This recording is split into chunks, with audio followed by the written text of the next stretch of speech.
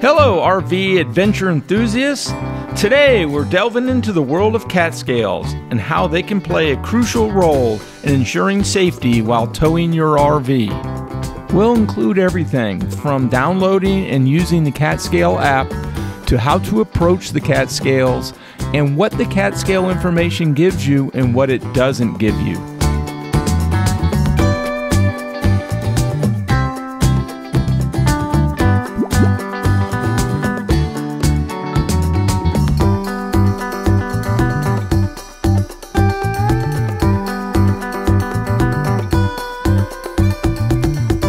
Make using the cat scales easier, you're going to want to download the cat scale app. Just go to the App Store and type in cat scale, and you'll see the Weigh My Truck app and the cat scale locator. Downloading both of these will only take a minute.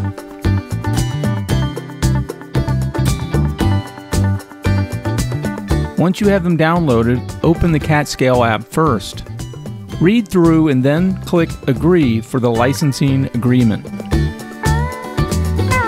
From here, you can click the Weigh My Truck app button, and if you already have an account, you can just log in. If you don't have an account, you can click the Create One Here button at the bottom of the screen. You will be requested to put in your name and your company name, I made up one, email address, mobile number, and create a password. You'll next be prompted to put in a credit card number. Now you're all set up and ready to go. From the CatScale app, you can click the Visit Catscale.com. Here you'll find lots of information, including directions on how to weigh. This would include how to weigh both trucks and trailers, as well as other RVs.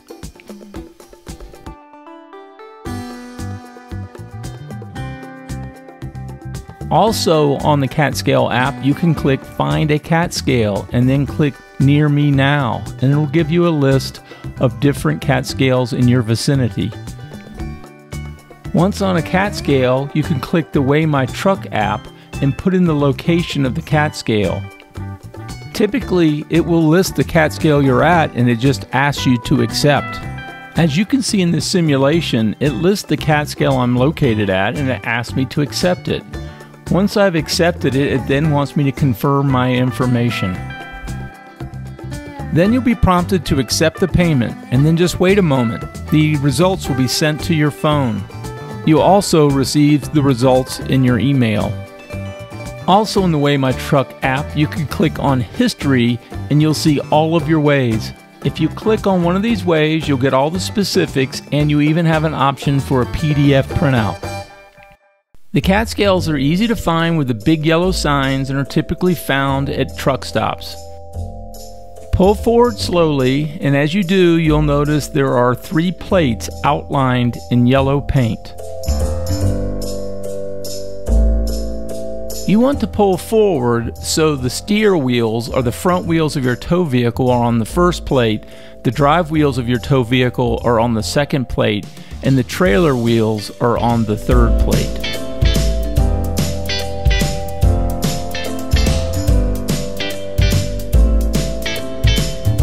Now, let's talk about the information we get from the CAT scale.